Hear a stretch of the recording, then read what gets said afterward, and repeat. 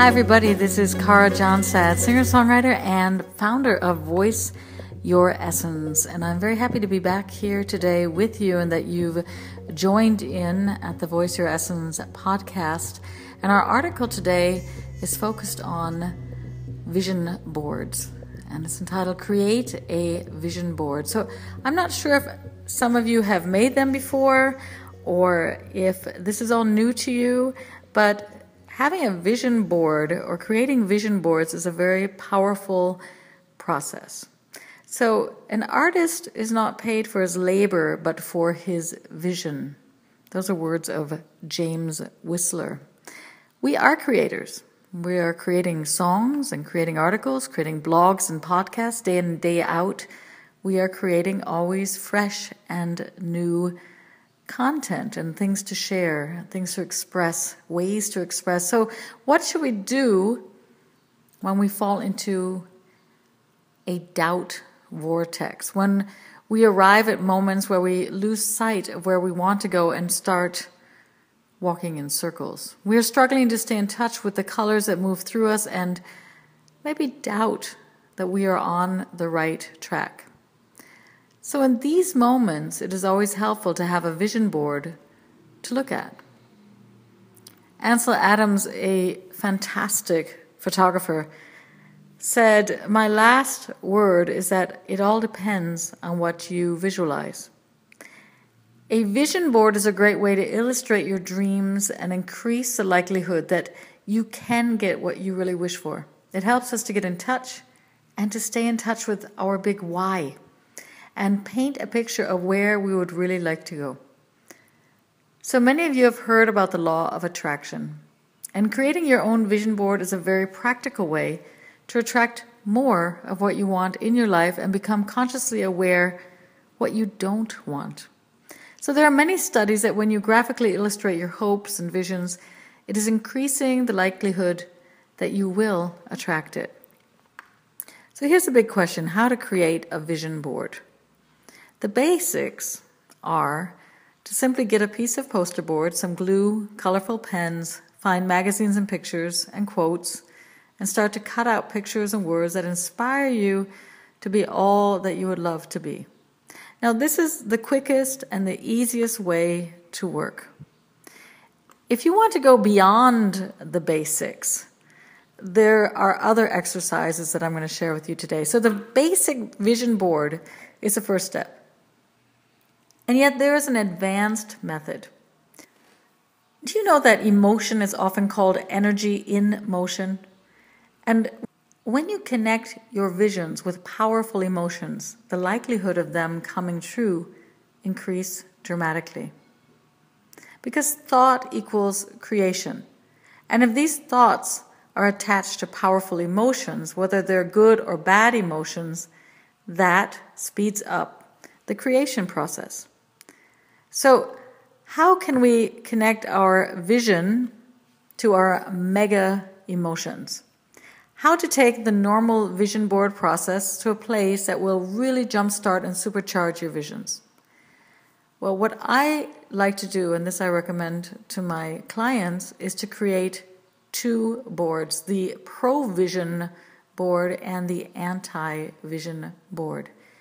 Yeah, we need to awaken very powerful emotions for the visions to crystallize.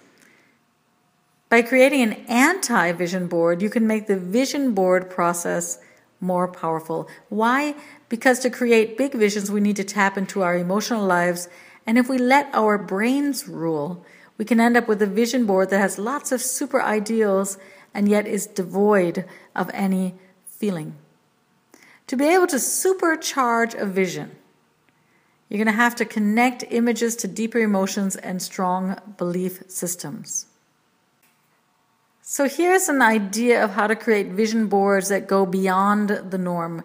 First, create an anti vision board. Dare to gather images that make you angry or your stomach turned, images that absolutely disgust you. Becoming clear what you do not want is often the very first step to being clear with what you deeply, deeply long for. It is kind of like jumping into a big pool of water and using the bottom of the pool to push up against You push off the bottom and shoot straight up. How high can you go? Are you able to push through the resistance? When you know what you don't want, it is easier to become clear what you really do want. We need to find the courage to say no to the things and people that are not serving us if we want to rediscover ourselves and live our lives with authenticity. Barbara DeAngelis. So, this is the reason for two vision boards. The anti vision board is so that you get clearer to which things you want to use to push off against. And when I did this for the first time, I had the courage to look at which pictures really disgusted me. And they were pictures of women being stoned, a Tibetan nun burning, children running amidst piles of garbage scavenging for food, pictures of hospital rooms and war zones where limbs had been blown off of innocent bystanders as they stood at the market to buy their food. My stomach turned and my heart bled, and the pictures for the new big car or the perfume advertisements paled in comparison. And allowing myself to deeply feel what I was repulsed by made it very, very clear in which direction I was meant to walk in as an artist. The visionary is the one who brings his or her voice into the world and refuses to edit, rehearse, perform, or hide. It is a visionary who knows that the power of creativity is aligned with authenticity. That last line was from Angeles Arrien. So, when we're creating two vision boards, the anti vision board and the normal pro vision board, it helps to clear our vision. And looking at the anti vision board I had created, my focus became very clear, and I saw clearly that my path as an artist was to connect us back to the stories that actually uplift us and heal us and the human type of songs and human type of stories.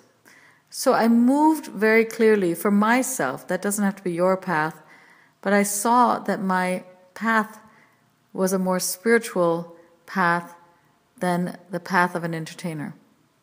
My work suddenly became easier, and I could no longer be swallowed up by the doubt vortex, no longer swallowed up by writer's block or stage fright simply left the room.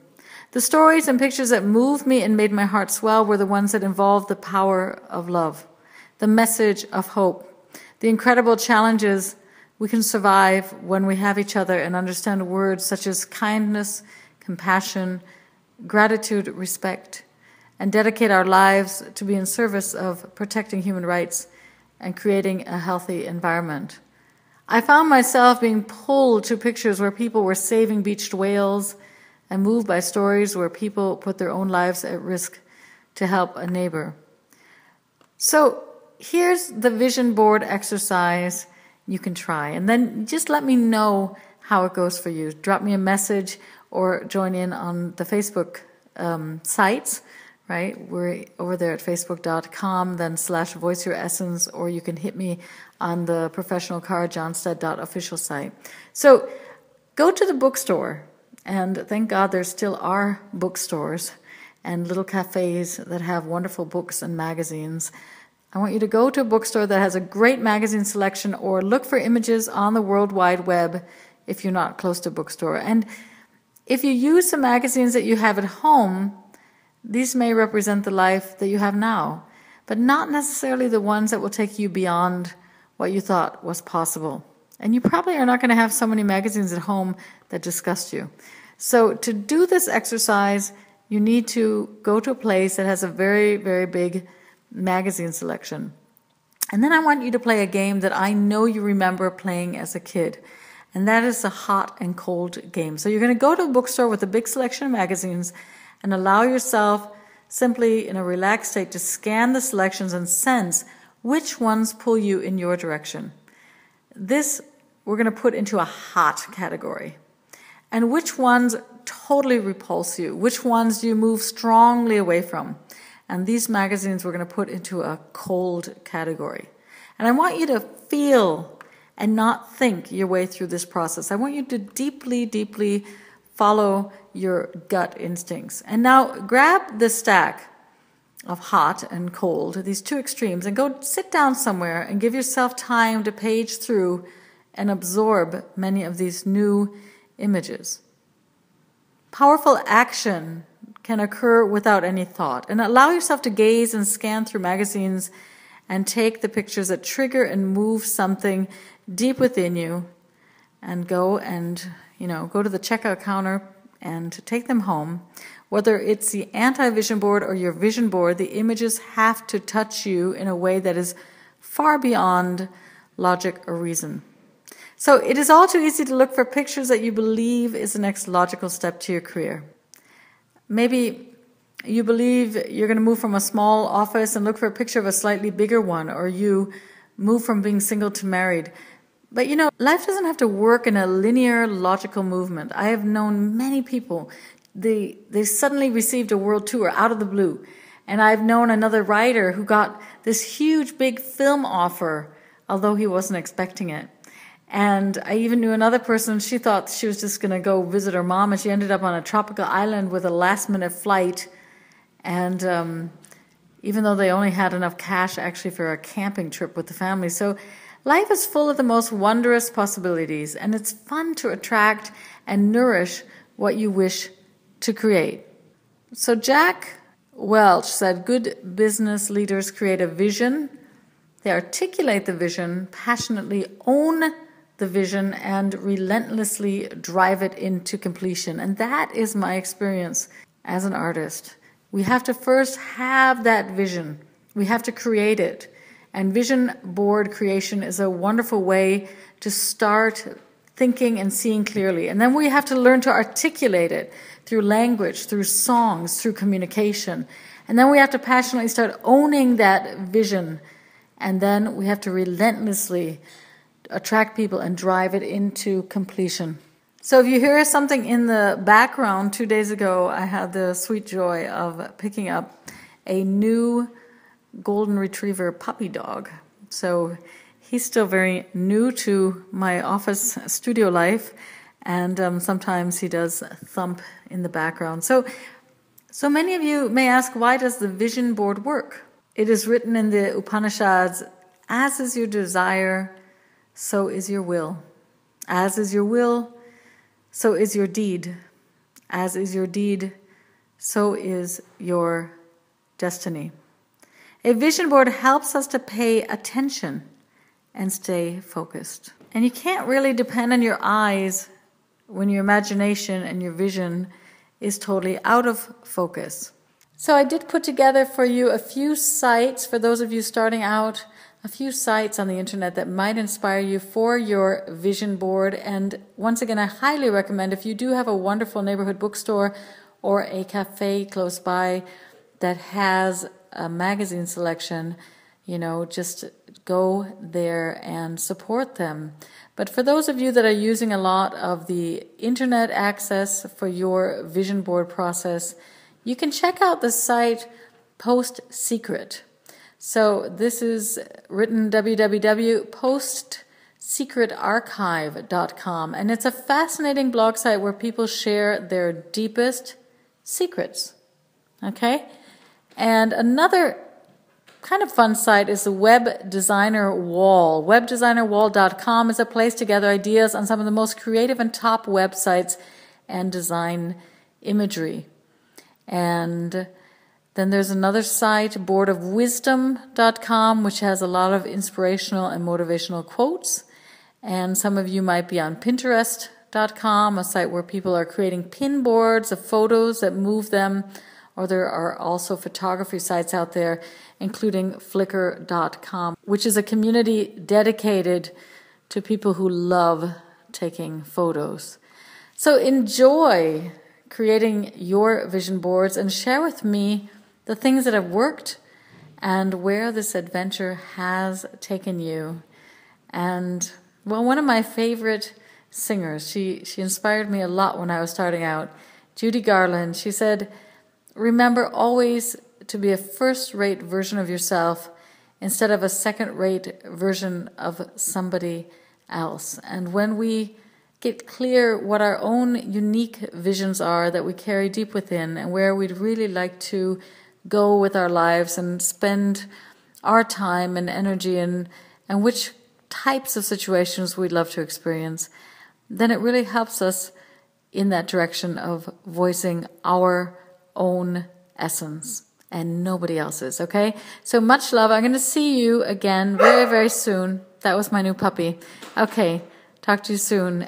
And um, I tell you, puppy love. Okay. All right. Bye bye.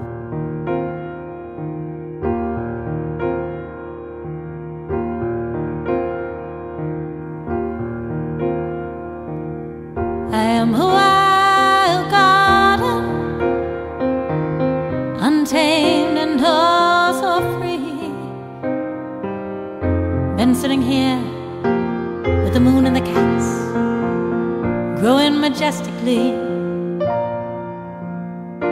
My vines are all knotted and twisted, and my grass grows straight and tall.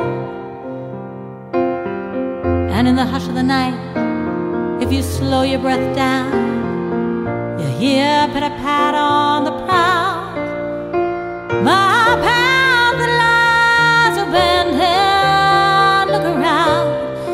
see the old gate.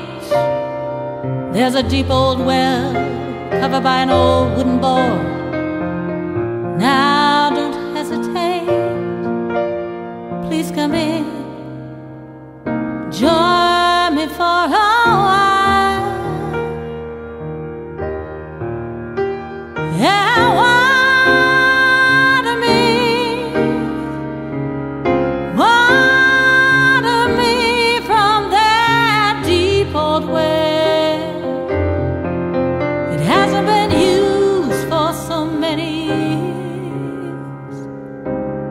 Said deep down they're dragon tears, but the rooster he disagreed.